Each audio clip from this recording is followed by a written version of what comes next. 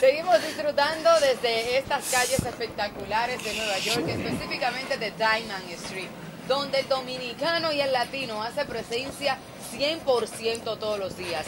Una área de puro eh, entretenimiento, pero también de mucho trabajo, donde todos nuestros Ciertamente. amigos se unen día a día a trabajar por lograr sus sueños en cada una de las áreas donde se quieran desempeñar en sus vidas. Chicos, ¿estamos listos? Estamos listos, estamos preparados y estamos en el Boulevard de Dykeman. Así que sí, el Boulevard. famoso Boulevard de Dykeman, que es donde todos los dominicanos y, y amigos hispanos que tienen negocios, dueños de negocios, felicitarlo a cada uno por esa gran, ese gran trabajo que hacen para todo el público que viene a divertirse, a encontrar una diversión en la ciudad de Nueva York, específicamente en el Boulevard, eh, vamos a decirle el Boulevard Y Dominicano. sentir ese calor Sí. dominicano, porque eh, todo Diamond, eh, hay muchos restaurantes Sí. dominicanos por acá y Bien. podemos disfrutar pues, de nuestra comida aquí en la ciudad de Nueva York. Es así. Bueno, chicos, llegó el momento de hablar en nuestra tertulia del día de hoy. La señorita Yaneli Sosa trajo un tema, un temazo, un palo. Así es, miren señores, ustedes saben que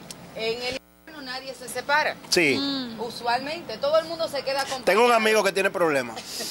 tiene problemas. Sí. Pero el frío permite que las personas se mantengan más unidas que nunca. Se Nadie- portan mejor. Sí, se tratan mejor, se tratan con más cariño. Pero las personas que terminaron relaciones en esta temporada Se pusieron guapitos. Muy Sí. Muy.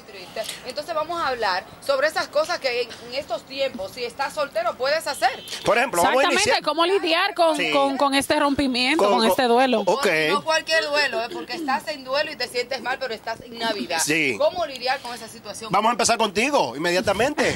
que estás soltera. Viene. Pero Dios mío, Viene. ¿por qué el toro no es un niño normal? Viene. Toro, óyeme una cosa, si estás soltero, viene la Navidad, la primera Navidad que te pasa sin los suegros, la primera Navidad que te pasa sin estar quizá con los Con- hijos, con tu- sí. la primera Navidad que te pasa soltero en tu apartamento y que los hijos se los llevó la mujer, este tipo de situaciones que se dan, que son muy fuertes. Por ejemplo, esta Navidad que te, agarra- te agarró como un plátano, peladito, sin trabajo y sin dinero. ¿Cómo usted se hace con ese? Pues otro rompimiento. Eso es otro. Es otra relación Ah, fuerte. caray, ya, miren, señores, eh, óyeme por dónde va el dinero. No, Estamos hablando. Eso es separación. No es- eso es una separación. O Miren, sea, chicos. Eh, ¿Cómo un- tú lidias con eso? Una, sí, una manera muy buena, pu- pues, de tú poder lidiar con un rompimiento. Ustedes sabían que cuando tú pierdes tu pareja es como si se te muriera alguien. Ajá. O sea, el dolor es tan fuerte como si a ti se te, se te muriera un ser querido. querido. ¿Te pasó a ti que perdiste una pareja, verdad? O sea, se- se- se- Sí. No, ¿cómo se- Sí. se- A todos, no, a, alguien? a todos en algún momento determinado, pues nos ha tocado lidiar con un rompimiento. Sí, a cierto. todos. Porque para tú iniciar una relación, tú tienes que terminar con una. Sí. Y es muy difícil. Ahora, ahora, ahora. Y es muy difícil. Entonces, yo sugiero. No, nunca es bueno, aunque nosotros estemos, por ejemplo, esta es una temporada que no es no es fácil estar solo, pero yo sugiero que se den un tiempecito, Sí. que no se apresuren y que no, pues, no inicien una relación así de repente, Sin porque cuando conocer tú, la persona. cuando tú estás, exactamente, cuando tú estás vulnerable, puede puede que muchas personas pues se aprovechen Y de eso y tú, exactamente, puedes tomar una decisión y volver y cometer un error. Y que Entonces, se sepa algo que dijiste. Muchas personas se aprovechan y tú te dejas que se aprovechen también. Porque es así, hay personas que se aprovechan, pero hay otros que se dejan aprovechar y después le echan la culpa. Ay, no, que fue que me agarró, que yo estaba en sufrimiento, que estaba en dolor.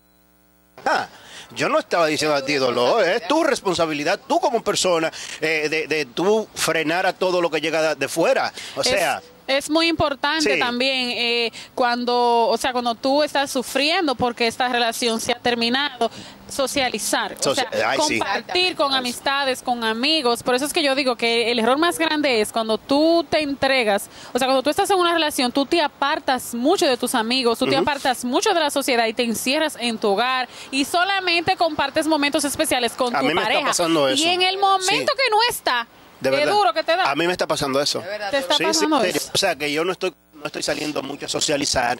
eh, Eso hace como mucho que daño. Me, me he El enfocado. amor te dio duro. Me he enfocado mucho a esta vida de soltero, tú sabes, y como que no quiero tener otro eh, otro desliz, ¿no? Eh, me estoy dando tiempo con la persona que, que va a llegar a mi vida. Eso es muy importante. Sí. pero fuera de relajo. Tú lo dices relajado. No, pero no en Es serio. Es muy ¿Tú importante. crees que es relajando? Es en serio. Este Es muchacho. importante darse ese tiempo.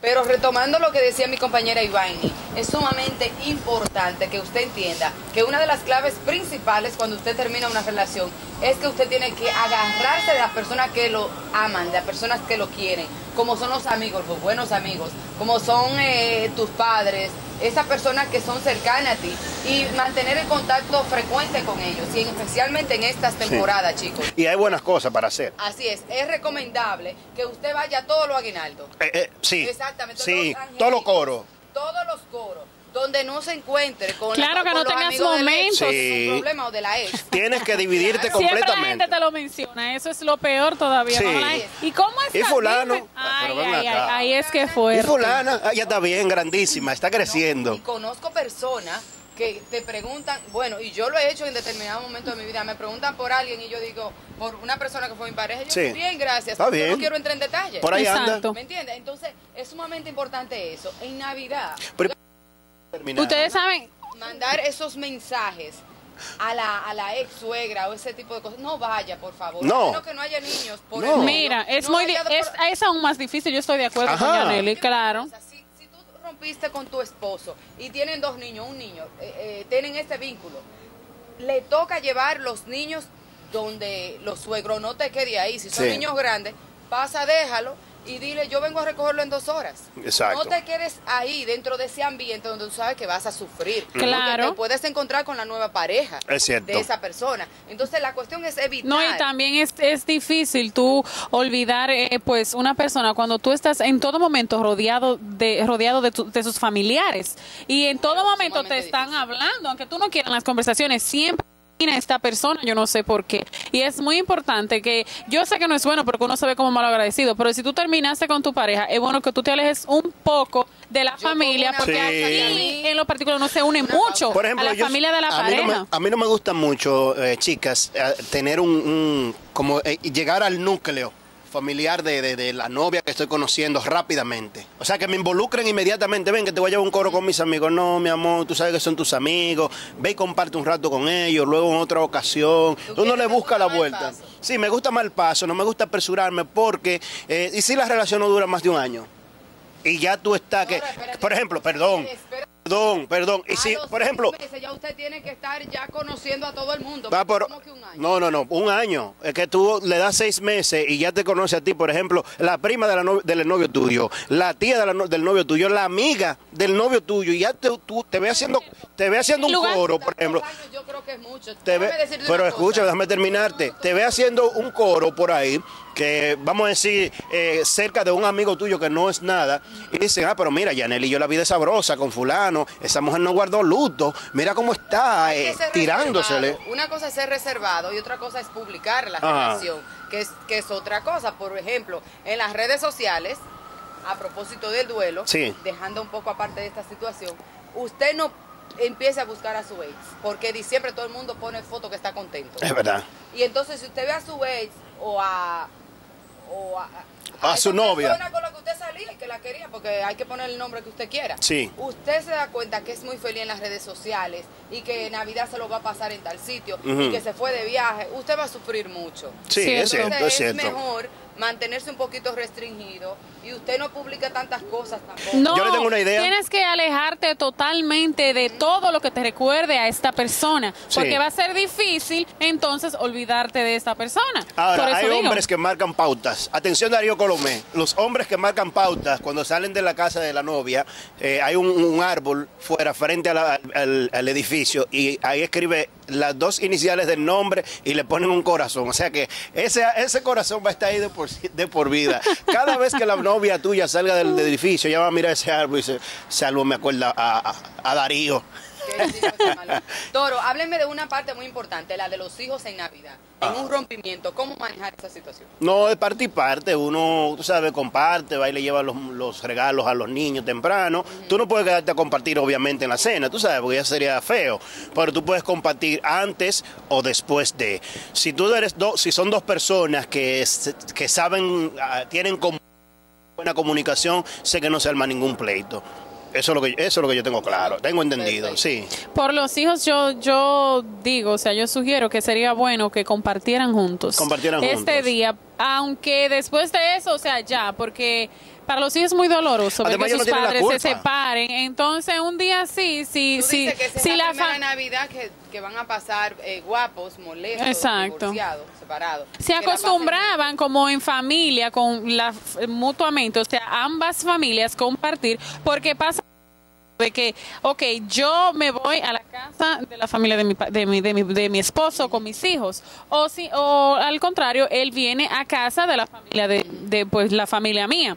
Y si usted acostumbra a hacer eso, eh, pues vaya y comparta, porque ese día No, Iván, eso es importante para sus difícil. Muy Es difícil. muy Es muy difícil. porque regularmente ya para estos tiempos, si usted terminó, usted está en conquista o está recibiendo a alguien, o, o- sí, depende, depende. Si es el hombre regularmente ya está viendo a alguien y es más complicado. Sí. Incluso si tú terminaste y viene la primera Navidad, la que es la actual novia va a querer conocer los hijos y ese proceso es muy fuerte Es para que se haga todo en Navidad. Es cierto, es no es cierto. nada fácil, porque, Ahora pero me- que hay personas aquí que no tienen familiares y siempre cuando cuando tú cuando tienes una pareja que tiene su familia aquí y tú siempre te pasas la Navidad, ahí es muy difícil, pues, yo imagínate, le diría. imagínate lo que es ¿Qué usted le eh, pasártela solo después.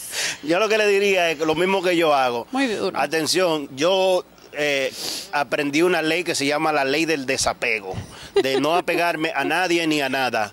Cuando eso está conmigo bien y cuando no está conmigo, amén. No me digan que Eso no me no Ese me es el digan hombre más fuerte No me de digan este a mí que yo no tengo sentimientos. Sí tengo sentimientos. Tengo sentimientos. Los que hablan así son mayorones. Usted lo sabe. Usted que está en casa sabe que el toro segurito es mayor, mayorón. Señor, ¿y usted qué hace? ¿Qué haría? En una situación. en una situación como esta. Coméntenos en las redes sociales, a Ritmo de la Noche en Facebook, Instagram y Twitter. Así es. Nosotros seguimos con más. Esto es a ritmo. De, la, noche. Desde el frío. Sabroso.